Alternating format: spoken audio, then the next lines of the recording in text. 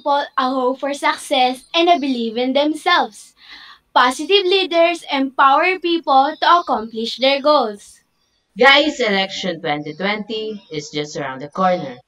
With that, we are here today to witness the courageousness and wisdom of the two brave-hearted candidates for this year.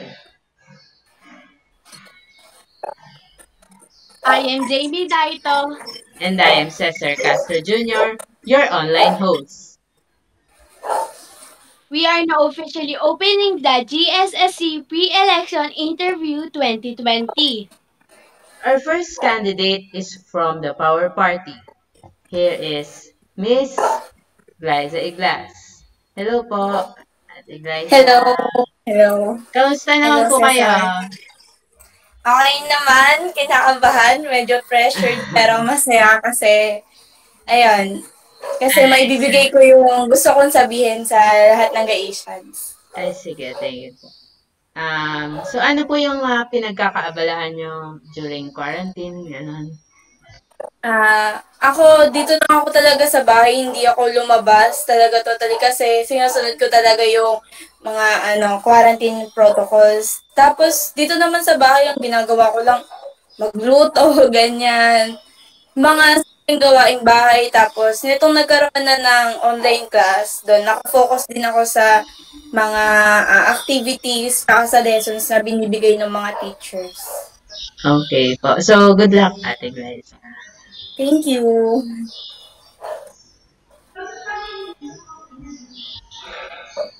Thank you, Miss Glyza Iglas. Our second candidate is Miss Arceta. Hello, Nicole.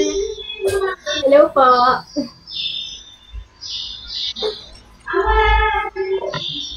Kamusta ka? Ano ginagawa mo ngayong ano, quarantine? Okay. During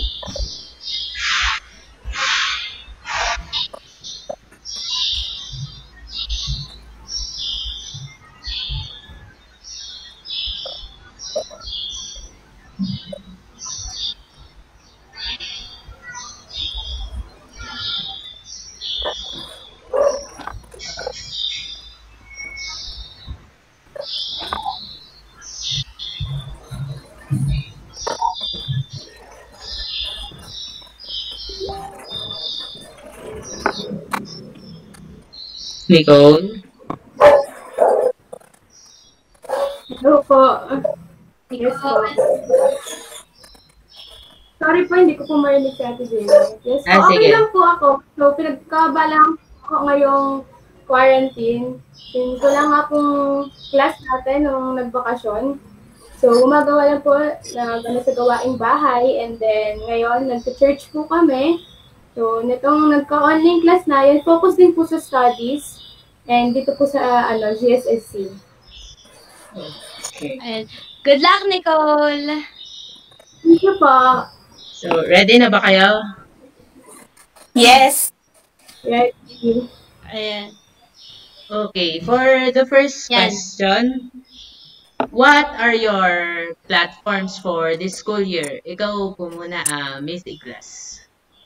Ah, Okay. For the year, my platforms are, uh, ito yung unang-unang platform na gusto kong ah, ipatupad if ako yung manalo bilang president.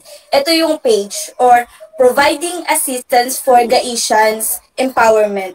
Ito yung page na gagawin natin para makatulong sa bawat Gaisians kasi aware ako na marami sa atin nahihirapan pa rin mag-cope, nahihirapan pa rin mag-adjust, lalo na ngayon sa online class na ginagawa natin para ipagpatuloy yung pag-aaral natin. And aware din ako na marami sa mga Gaisians yung nahihiyang mag-ask ng help or ng ah kung ano mang bagay sa mga teachers nila kung kailangan may mga clarification about sa lessons, nahihiya sila na magtanong kasi ah, gusto nila i-prove na sa sarili nila na kaya nila. Pero minsan, syempre, hindi rin may iwasan na kailangan talaga natin mag-seek ng help sa ibang tao. And sa, sa tingin ko, ah, mas ma- magagawa natin yon in the best way kapag sa mga kapwa students natin tayo nagtanong. Kasi, andun yung magkakaroon tayo ng interaction sa kanila. Alam natin na yung, yung pinagdadaanan natin is napagdadaanan din ng ibang tao, ng ibang students. Kaya sa tingin ko, yung uh, page na yun, makakatulong talaga siya para sa mga Gaasians, para if ever may mga questions sila, may mga gusto silang i-clarify, may mga hindi sila naintindihan sa lessons, pwede sila mag-ask sa page na yon and yung mga sasagot sa questions nila is yung mga kapwa Asians nila. Doon magkakaroon ng interaction yung bawat isa, kahit na online lang, kahit virtually lang, kahit na meron tayong pandemic na pinagdaraanan ngayon. Next is yung Gaising Galing Online. Siyempre, alam natin na marami sa mga Gaisians talaga yung uh, inclined pagdating sa talent na sa singing. Marami sa atin yung mga singers talaga and who knows baka isa sa mga singers na yun maging international singer, maging uh, famous singer, 'di ba? So mahalaga sa at uh, mahalaga sa akin na kahit may pandemic ngayon, uh, naipapakita pa rin natin yung pagsuporta sa galing ng mga Asians na yun, lalo na pagdating sa singing uh, mahalaga pa rin na nabuboost natin yung confidence ng bawat isa na ipapakita natin kung ano yung talent na meron tayo sa ibang tao. Next is yung hataw na tayo na project. Siyempre, kung merong singing, dapat meron ding dancing. Mahalaga para sa akin na uh, may showcase din yung talent natin sa dancing kasi nakikita ko and alam ng bawat Gaasians yan na maraming magagaling sa sayaw sa guys. Alam natin yan. Eh, di ba, syempre, si uh, yung host natin na si Jamie Dahito, magaling din siya talaga sumayaw. Kaya alam ko na kailangan talaga natin ma-showcase yung talent na yon kahit virtually. Kasi marami ngayon, di ba, nauuso ngayon yung TikTok doon nagagamit natin yun bilang platform para ipakita yung talent na meron tayo. And ngayon, maraming ka-Asians na nagtatry nun. So what if gawin natin yun as a platform din para maipakita talaga sa bawat ka-Asians and sa ibang tao yung galing na meron tayo sa pagsasayaw. Next naman is the Heart Art Online. So, syempre, marami sa atin na mahilig magsulat ng mga poetry, ng mga essays, ng mga uh, stories. So, What if ipakita din natin yon online? I-post natin siya online para makita at mabasa ng ibang tao kung ano ba yung thoughts ng mga Gaasians, kung ano ba yung uh, galing ng mga Gaasians, lalo na sa pagsusulat, para maipakita din nila na uh, maibigay nila yung best nila na dun sa ganong paraan, alam nila na nag excel sila. Kasi through that uh, platform, magiging ano yun eh, magiging way para ma-improve nila yung sarili nila kasi makakatanggap sila doon ng mga compliments, ng mga uh, suggestions. So, pag nakatanggap sila ng mga compliments and suggestions, may isip nila na uh, meron palang maka-appreciate sa galing ko, meron palang uh, kayong uh, maka-appreciate sa kung ano yung talent na meron ako na bigay ni God sa akin. And lastly is yung, ay hindi pa pala to last, word, uh, ano yun? Word power, word power online. So, yun din yun. Doon dito naman, uh, dito papasok yung mga arts natin na merong, uh, merong connection sa mga words. Siyempre, meron tayong mga cartoonist. Doon papasok yung mga galing din nila pagdating sa pagguhit. Uh, marami sa atin talaga magagaling talaga sila sa arts and nakaka-amaze kasi hindi nila yon tinatago sa lahat. Marami nga ako nakikita nagpo-post na mga yung mga artwork nila and maraming sumusuporta doon. So what if mas uh, palawakin pa natin yon mas pagandahin pa natin yung platform na magagamit nila para ma-showcase yung talent na meron sila pagdating sa arts. Next naman is yung, eto na yung last, in-tour national. So, wala tayong educational tour, since bawal yung mga biyahe ngayon, wala yung mga uh, field trip, field trip na yan na na-enjoy talaga ng mga Asian. So naisip ko, what if gumawa tayo ng isang video Marami sa atin magaling mag-edit. Alam ko yan. Marami sa atin yung mga magagaling talaga pagdating sa uh, computer. Marami tayo yung mga uh, mahilig mag-travel, kung saan-saan nakakapunta kasi doon sila nag-explore, doon sila nag-grow. So, what if ipakita natin yung ganda ng buong Pilipinas using that platform, the international? Doon makakatulong din tayo sa turismo ng Pilipinas kasi maipapakita natin sa lahat ng tao kung ano yung ganda ng Pilipinas. Makakatulong tayo ma-promote yung turismo ng Pilipinas kasi ngayong pandemya, uh, naapektuhan talaga yung turismo kasi walang nakakapasok ng mga tourist, walang namamasyal, walang nag explore sa buong Pilipinas. So what if uh, habang may pandemya na ito, gamitin natin yung uh, opportunity na yun para maipakita sa ibang tao yung ganda ng Pilipinas, yung natatanging ganda ng Pilipinas sa pamamagitan ng mga videos uh, na gagawin natin para makatulong din tayo ma-promote yung kagandahan ng Pilipinas, ng bansa natin. So, yun lang. Maraming salamat. Thank you, Ate Glyza. That was a great point. How about you, Miss Arceta? What are your platforms for this school year? So, good morning. My name is Nicole Arceta, President of Biluntian Party. So now I will present to you the platforms of Biluntian for school year 2020 and 2021. We prepared programs and activities to make this school year enjoyable and forgettable. Ang main goal namin dito ay paramdam sa inyo na pwede pa rin kayo ng pamilya ng GAIS. So, ang una namin ay ang G-Health. So, this is the name or, of the program or the FB page. So, dahil ang health natin ang pinupuntiran ng COVID ngayon, we are going to post the trivia's piece of advice about health and challenges. So, example, one minute plank or remind the Gaishans to eat healthy foods like fruits and vegetables. For higher level naman, magpo-post ng mga fitness or workout. Para mas catchy, tayo mga leaders ang magpo-post ng daily workout for beginners. Or sometimes, try to video ourselves na nagpo-focus sa healthy living. Pwede rin tayong magpa-challenge sa mga teachers or students like 1 minute lang or 20 push-ups or we will post the Nominate Your Fighter Challenge. So, kung sino ang makakagawa nun, pwede natin siya isama sa mga candidates para mapili sa students or teacher of the month. Siyempre, itong G-Health na to ay makaka-promote din ng healthy living lalo na't nasa gitna tayo ng pandemya. We should be healthy para hindi tayo madapuan ng kahit anumang sakit. So next, hashtag piso para sa pangarap. Online ngayon at wala tayong fundraising, dito sa Piso para sa Pangarap, makakalikom tayo ng pwedeng ipambili ng resources o kahit anumang gamit sa online class ng mga bata na nangangailangan ng tulong. Pwede tayong maglapag ng isang GCash account na makakapag-raise ng funds na makakatulong sa mga students na walang panload o hindi makakang online class. So,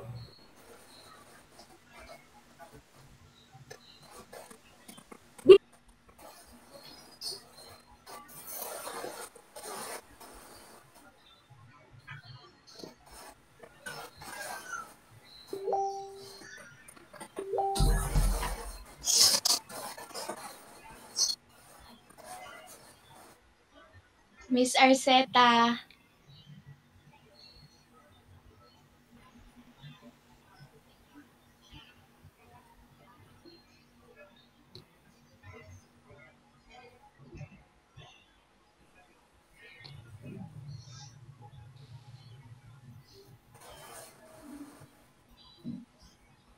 Nicole.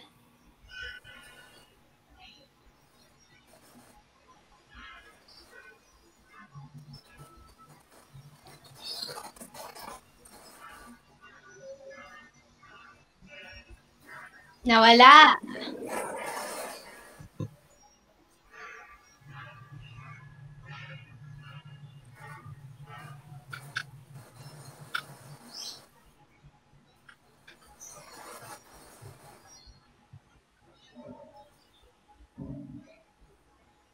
Okay, thank you, Miss Arceta. Next question na tayo. Um, Miss Glyza Glass, how will you showcase your leadership through online? Okay, so para sa akin, a leader must, must inspire, influence, and motivate his or her fellow men.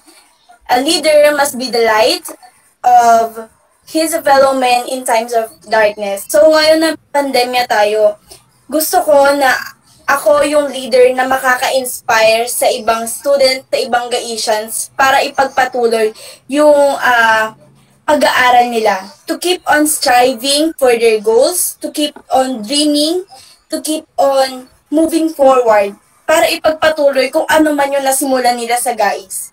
Kasi ngayong may pandemya tayo, marami ang nahihirapan, maraming hindi makapag-adjust. Pero gusto ko, ako yung tao na makakatulong sa kanila para ma-motivate sila na kaya ko to, na Gaetians ako at alam ko na kung ano man yung pandemya na pinagdaraanan natin ngayon, masusurvive natin yan ng sama-sama.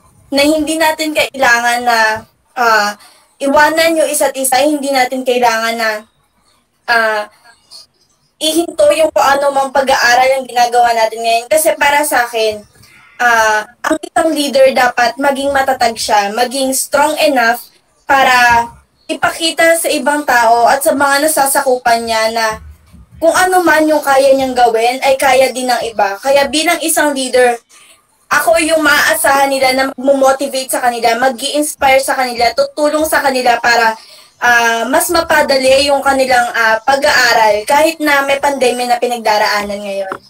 Yun lang, salamat. Uh, maraming salamat, uh, Miss Glyza Iglas.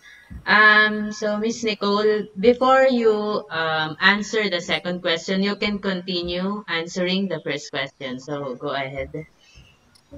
So, yun, so na tayo sa guys online seminar. So, yun nga, mag-invite tayo ng guest or expert about the topic to give a virtual talk. So, makapag-raise to ng concern para sa mga batang aware ng cyberbullying. Next, the guys freedom wall online. Dahil nga uh, ano, active ngayon ang lahat sa social media, lalo na nahihirapan sila sa online class, sa wall na yun, pwede sila makapag-suggest ng alternative nila. Kumbaga, speak your voice. Ito ay isang suggestion page, page for students na ito-check every mo- month. So next, let's be formal. Formal attires at online classes. So dahil ang mga students ngayon ay nawawalan ng focus dahil nakasuot lang sila ng mga pambahay or yung mga everyday clothes nila, mas maganda na naka-uniform tayo para ma-feel nila na nasa school talaga tayo.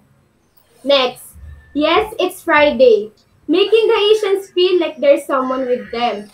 So every Friday, mag-post tayo ng mga inspirational quotes para sa students para ma-boost yung confidence nila na magpatuloy.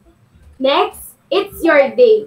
It's a birthday corner online or greetings about the Asian's birthday may kipag-coordinate tayo sa mga class advisors to give the birthdays of their student and also the teachers. Next, let's start the week with God. So every Monday, mag-post tayo ng mga inspiring Bible quotes or mag-live tayo ng mga worship songs. Dahil alam naman natin na hindi hadlang ang COVID-19 upang hindi tayo magpatuloy sa pagpuri at pasasalamat sa Diyos. Kaya kahit anong pagsubok na ating kinakaharap, malalagpasan natin ito dahil gaisyan tayo at kinagabayan tayo ng Panginoon. Next, you're not alone, I'm with you. Monthly consultation conducted by GSSC for that students na may kinaharap na problema. Yon. So, sabi nga gaya nga na sinabi ni Ate Glyza kanina, kailangan nating ipagpatuloy yung mga talents and skills ng mga Gaishans. So, yun lang. Maraming salamat.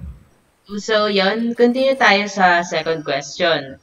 So, the question is, how will you showcase your leadership through online? So, how can I lead through online? Simple. By engaging many things to encourage the Gaishans to continue. Leadership naman is not about leading something or someone for your own goal. Sometimes, kailangan mo mag-lead para sa kanila to be better. You're a leader of yourself and also you're a leader for them. Through this pandemic, alam kong mas may hirapan tayo. Pero alam naman nating handa tayo para sa mga ganito. If you're a leader, kailangan isa kang good listener. Kung yung mga efforts mo nakaka-motivate sa mga estudyante na magpatuloy, na mag-aral, matatawag mo ang sarili mo na leader. I will showcase my leadership through online by making me and my associates as a good model or nga, example that would give inspiration to children to work hard and care for each other by sharing awareness online that would teach students the best and right thing to do.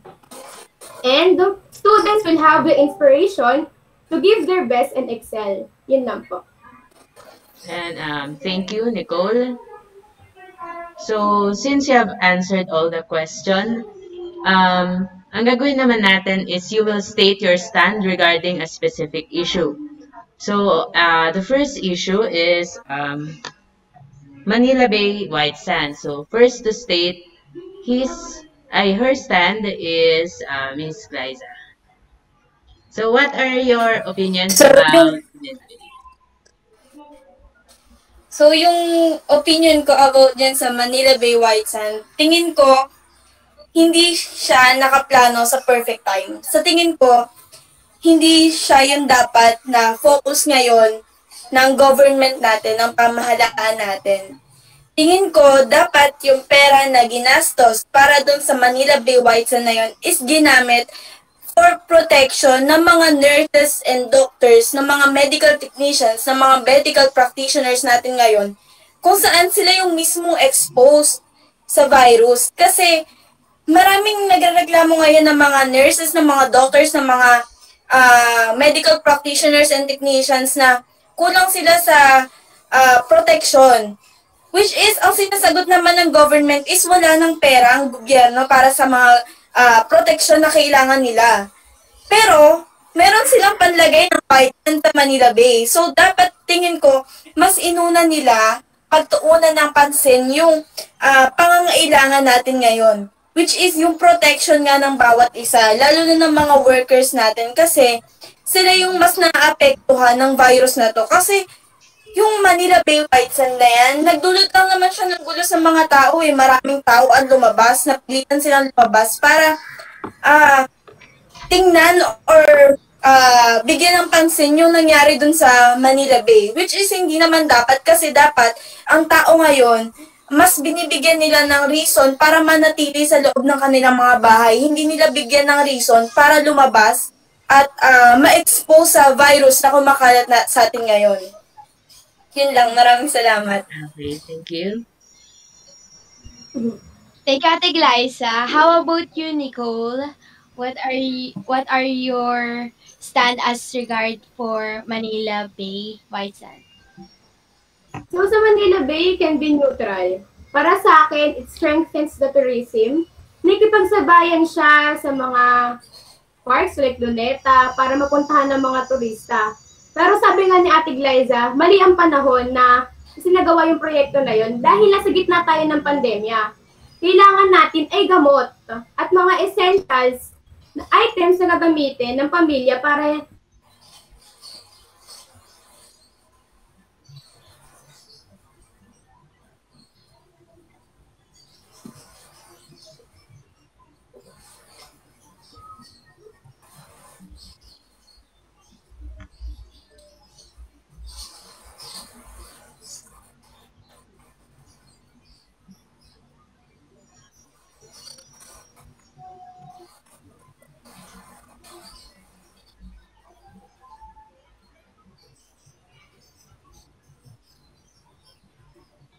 Hello. Miss Nicole. okay na po. Okay. Thank you.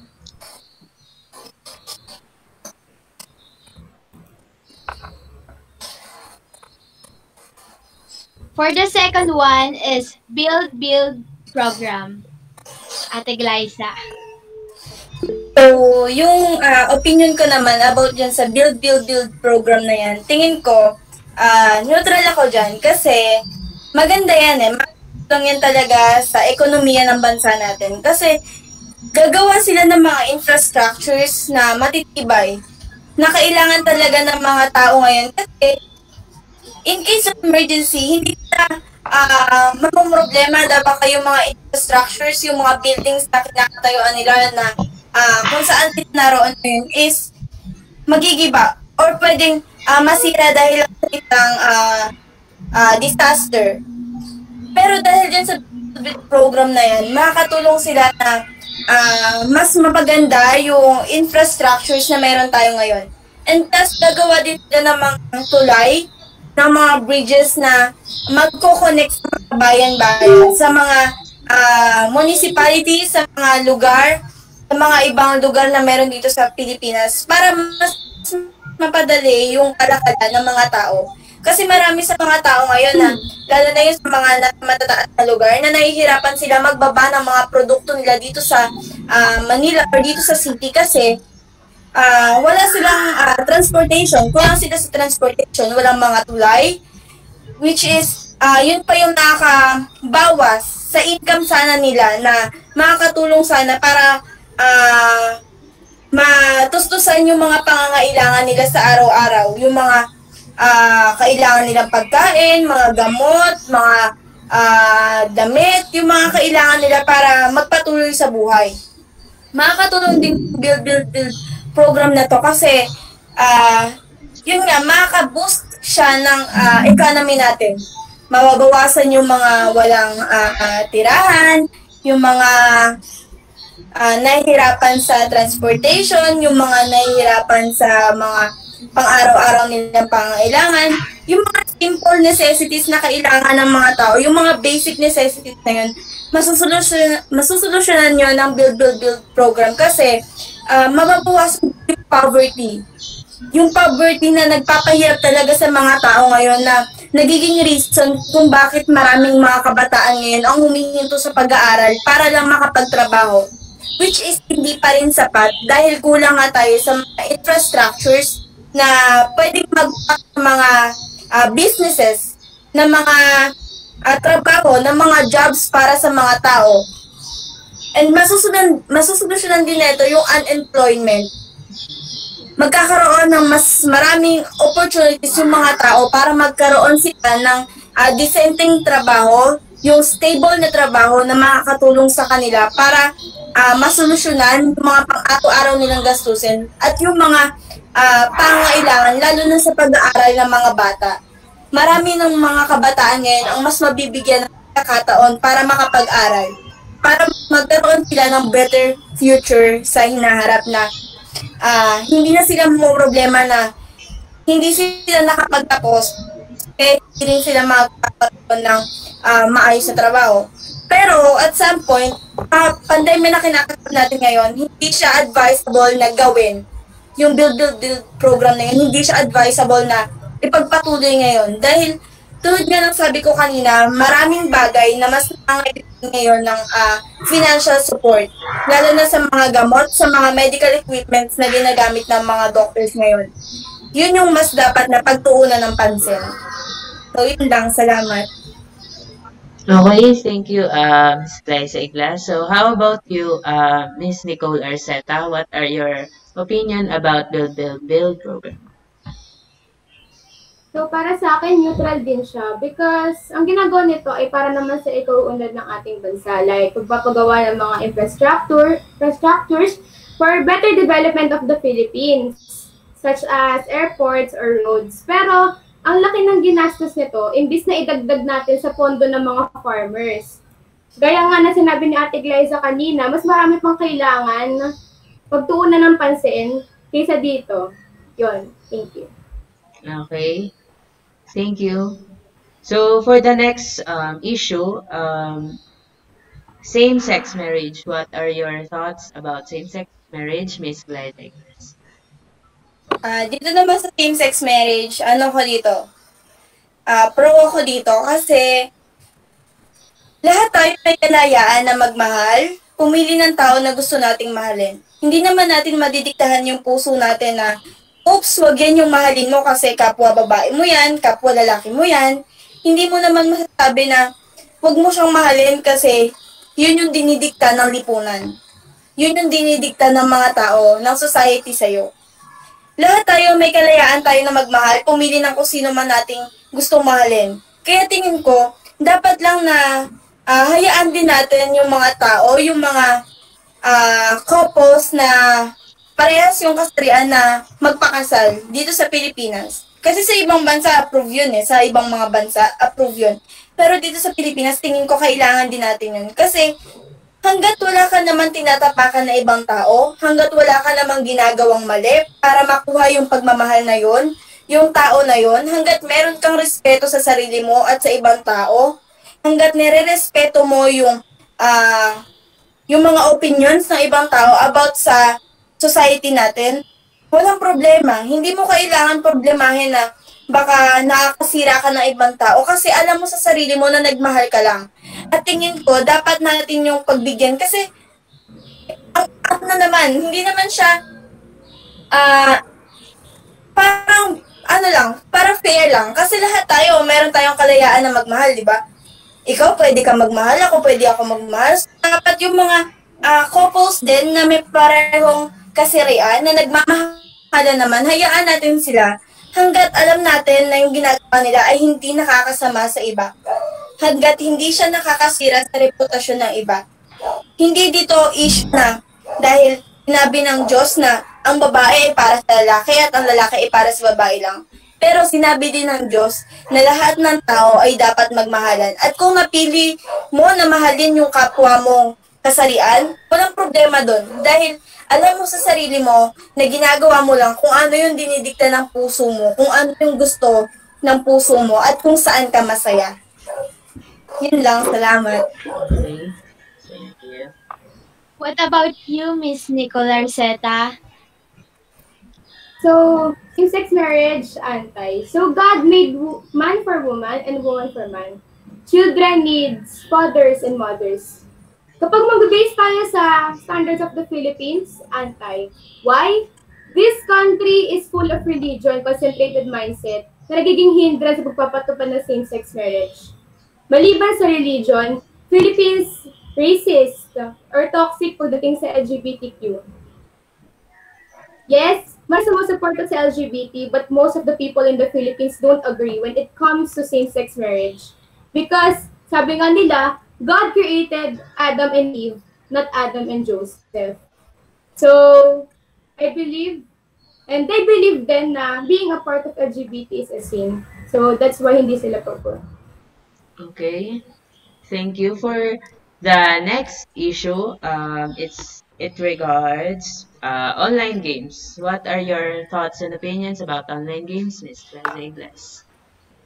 Ayan, antay ako dyan sa online games. Kasi, wit na-witness ko yan and aware ako kung gaano yan nakaka-apekto sa pag-aaral ng mga kabataan lalo na ngayon. Kasi, most of the youth are very fascinated with that online games. Hal halot lahat na gusto nila uh, magdudot-dot lang sa cellphone nila, magpipindot lang ng mga kung ano-ano para lang makapaglaro sila. And tingin ko nakaka-apekto talaga yun ng malaki sa pag-aaral nila. Kasi maraming mga students ngayon na mas inuuna nila yung online games bago yung pag-aaral nila. Online games bago activities. Which is hindi tama. Kasi nasa-sacrifice nila yung future nila. Mas nagkakaroon sila ng time sa online games at napapabayaan nila yung opportunities para matuto sila. Nawawala yung uh, sense of uh, study sa kanila hindi din na nabibigyan ng uh, malawak na attention, ng enough attention yung pag-aaral nila dahil dun sa mga online games na yun. At tingin ko hindi siya dapat uh, uh, binibigyan ng mas maraming attention kasi yung future natin, yung dapat na mas inuuna natin kasi yun yung magdidikta kung anong kapalaran yung magiging uh, magkakaroon tayo. Kasi kapag inuna natin yung online games, anong mangyayari sa atin? Nakatunga nga lang tayo maghapon. Plus, meron pa siyang mga uh, mga health disadvantages. Tulad na natututo tayo magpuyat, natututo tayo na uh, hindi kumain sa tamang oras, which is hindi tama kasi na uh, nalalagay sa risk yung health natin. Na minsan, hindi natin alam, pero nagdudulot na pala ng masamang epekto sa uh, katawan natin. Yung paglalaro ng online games, uh, hindi naman siya total masama. Ang masama is yung abusuhin mo yung online games. Hinahayaan mo na kontrolin ka ng games na dapat ikaw yung kumokontrol. which is dapat nililimitahan mo lang yung oras na pwede mong laruin yung online games na yun. Kasi dapat ang i-priority mo yung pag-aaral mo at yung makatulong ka sa mga magulang mo at sa lipunan na ginagalawan mo. Yun lang, maraming salamat. Thank you.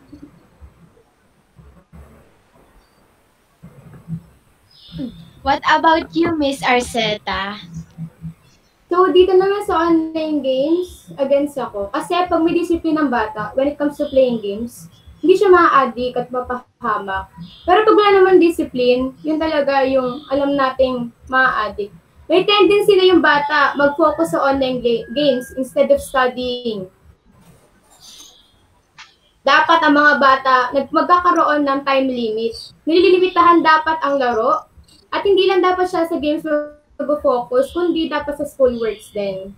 Walang benefit na maganda ang online games sa daily lives. For most, playing online video games is learning test hobby. Dahil ano, nag sasabi nito na nagpwede tayong magkaroon ng internet gaming disorder.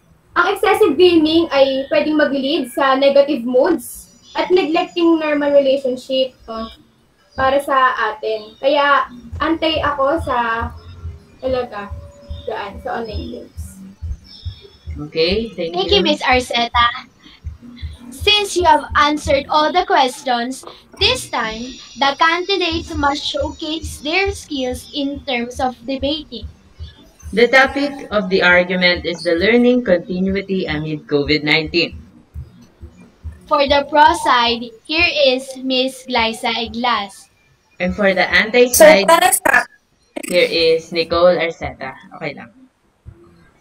Each candidate have two turns only. The first turn is for Miss Glyza Iglas. Okay? So, para sa akin, pro ako sa pagpapatuloy ng pag-aaral natin ngayon kahit na may COVID-19. Kasi, learning is a continuity and a continual process. Hindi siya dapat mahinto dahil lang sa pandemya. Maraming mga kabataan ngayon na nagrereklamo kasi mahirap mag-adjust sa online ah, situation natin ngayon, sa online studies. Pero, hindi natin nakikita yung opportunities na meron tayo. Dahil nga online to, mas marami tayong time para ah, i-browse, mag-focus sa mga pag sa mga lessons natin. Mas marami tayong time para mas magawa pa yung activities natin. Hindi tayo nape-pressure sa oras na hanggang gantong oras lang, hanggang one hour lang yung gantong subject. Which is yun yung different sa online ah, class kumpara dun sa normal class. Kasi sa normal class, meron ka lang minsan one hour or two hours para gawin yung isang activities, which is minsan hindi pa yun sapat. Pero dahil ngayon na may online class tayo, mas magkakaroon tayo ng time para mag-focus at may mas ah, makakatulong pa sa atin kasi meron tayong ah, family or mga friends na pwedeng makatulong sa atin. Magkakaroon tayo ng bonding sa kanila ah, dahil doon sa pag-aaral natin ngayon at magkakaroon tayo ng opportunity para mas makilala pa yung isa't isa kahit na ah, lagi tayong magkakasama. Kasi minsan, ah, dati pagka pumapasok tayo normally sa school, minsan mas marami pa yung oras na inilalaan natin sa school kaysa sa pamilya natin. Mas nawawalan tayo ng time sa kanila. And minsan, may mga bagay tayo na nakakalimutan na, ay, ganito na pala siya, hindi niya na pala gusto to, ayaw niya na pala nito, ito na pala yung bago niyang habit ngayon. Pero dahil meron tayong opportunity ngayon, mas maraming opportunity para ah, makipag-bonding sa kanila kahit na may mga activities tayo, which is natutulungan pa nila tayo, doon din natin makikita na yung mga pagbabago sa kanila, yung mga changes na meron sila ngayon, na yung mga dati na ginagawa nila, hindi na pa nila, hindi na pala nila ginagawa ngayon. Kasi, dati, hindi natin yung nabibigyan ng attention. Kasi nga, mas marami tayong oras na pinapasok sa school. And pagdating naman natin sa bahay, may mga assignments, may mga activities pa tayo na kailangan gawin. May mga reviews pa na kailangan gawin. Inst- pero ngayon, instead na papasok tayo sa school ng 10 hours, 10 hours or less, ah nasa bahay na lang tayo.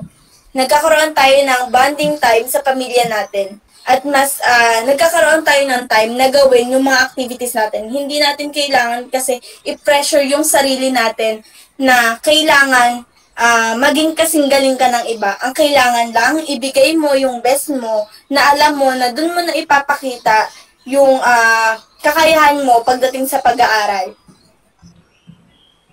Yun lang. Hindi pa ready ang lahat. Kailangan ituloy ang pag-aaral kahit online class ang setup dahil no student left behind ang objective nila. Pero bakit marami ang di nakakausad? Hindi naman lahat ng estudyante may sapat na gamit. Yung iba, pambili na lang nila ng pagkain, pupunta pa sa load. Doon pa lang sa nagpo-post ng piso para sa laptop, isang na yung patunay na hindi lahat ng estudyante kaya makapagsabayan sa online class. Not every student in the Philippines has stable internet connection at home. Also, alam naman natin ang Pilipinas ay one of the countries na meron slowest internet connection worldwide. Hindi lahat ng estudyante mayroong laptop, computer, mobile phones na magagamit para sa online class. Meron pa akong na kitang article noon na sabi raw ng director ng DepEd sa Bicol na kapag in-stop natin, magkakaroon tayo ng mamang ng mga estudyante, anong point at pagpupush ng online or continuing ng studies na to kung ang health naman natin ang nasa risk? Especially, wala pang vaccine ang COVID-19. Even those students, kahit na wala pang pandemic na to, facing their teachers, hindi naman lahat sila naiintindihan ng mga lessons eh. di ba? Minsan, nagkakaroon pa sila ng hard time para makapag-catch up sa mga lessons. What more pa kaya ngayon na nag-aaral lang through screen? Paano tayo makakasure na talagang they will be able to learn? Hindi lahat ng estudyante kaya ang self-study. Imagine, staying at the internet for weeks, paying the internet, going to computer shops, all for the sake of compliance while families are struggling and others have nothing to eat, thinking only how to survive every day. So, hindi lang naman sa cellphone, internet, natututo yung mga bata. Merong mga ah, modalities na ginamit ang government, ang DepEd, para ipagpatuloy pa rin yung pag-aaral ng mga bata. Merong mga modules, meron sa mga ah, meron sa mga TVs and radios. Doon nakakatulong ang government, ang DepEd para ipagpatuloy pa rin yung pag-aaral ng mga bata. Kasi kung ititigil natin to ngayon, paano yung mga future doctors? Paano yung mga future nurses? Mga medical technicians, mga medical practitioners? Paano sila? Paano kung isang taon na lang pala sila ngayon tapos pagkatapos nito, pwede na silang magsimula ng trabaho nila? Paano kung ititigil pa nila ito ngayon? Paano kung isa sa kanila yung makakapagbigay ng vaccine sa COVID-19? Paano kung isa sa kanila yung makadiscover nun? Or isa sa kanila yung makadiscover ng, ng gamot sa mga dati pang sakit na hanggang ngayon wala pa rin lunas? Kung ititigil natin to ngayon, paano yung mga opportunities na pwede sana natin makuha pero dahil itinigil natin, mawawala na ng saysay.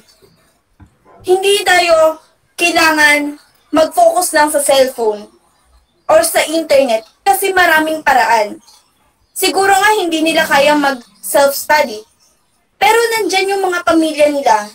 May mga pinsan sila, may mga friends sila na pwede makatulong sa kanila. May family sila.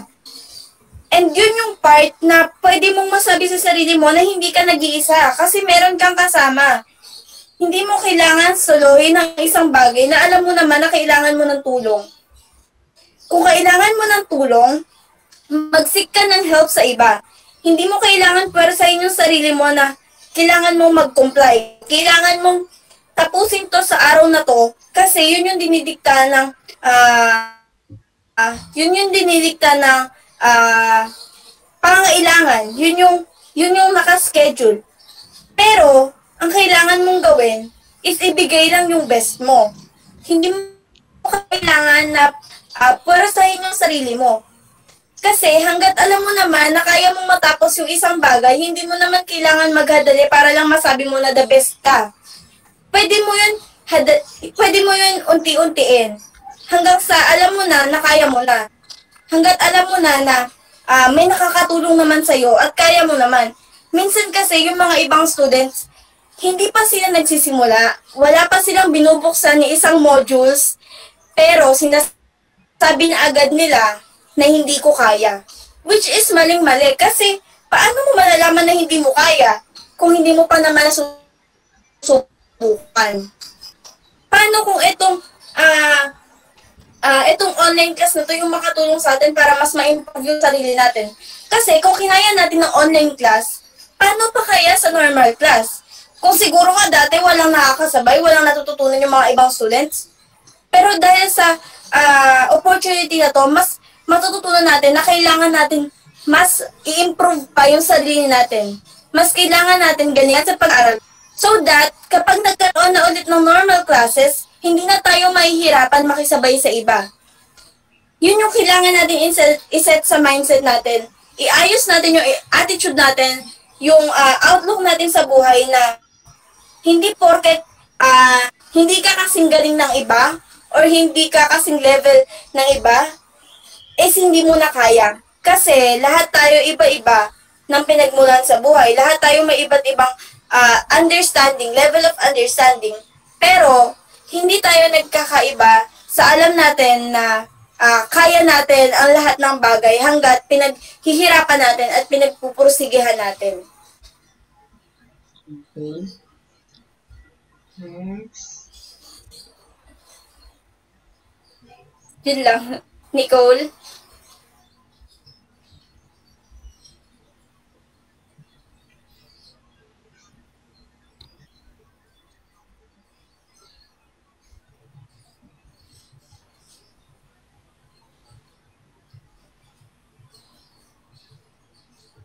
Nicole. Oh. Tumira siya.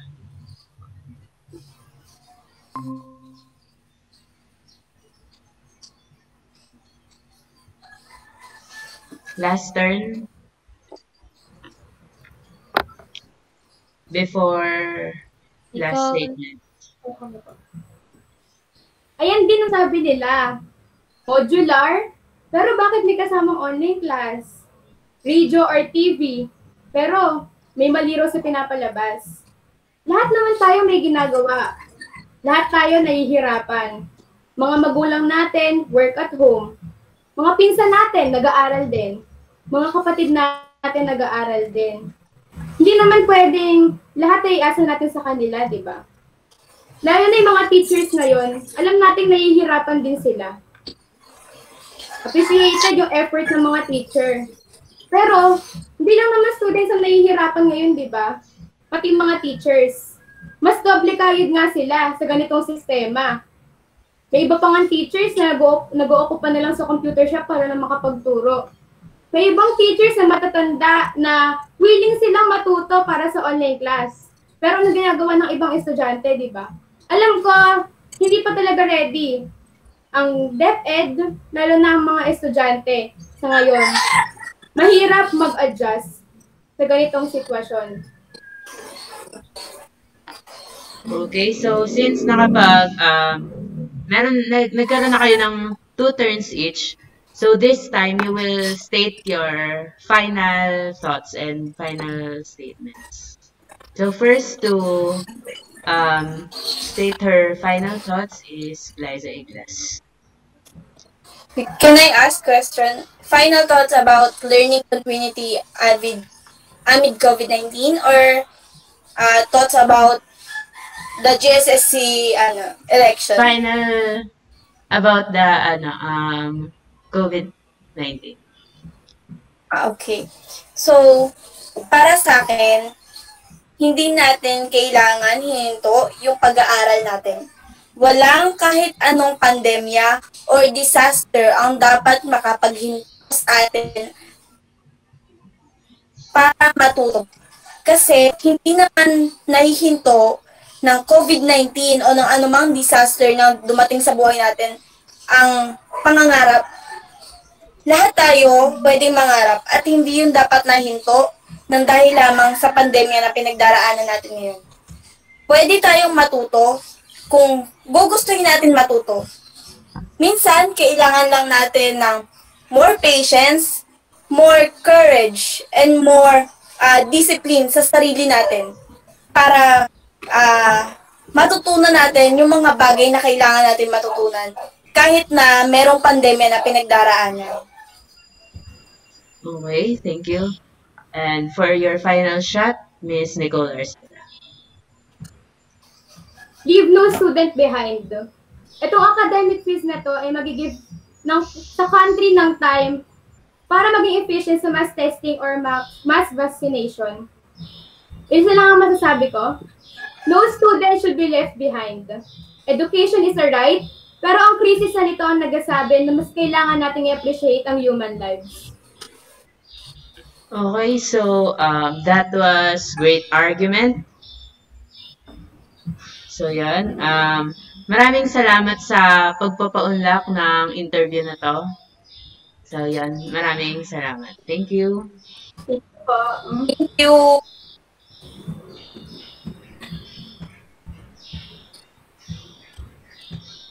This has been GSSC Pre-Election Interview 2020. May this interview open the minds of all Tagaisians to ascertain who is the deserving leader for this school year.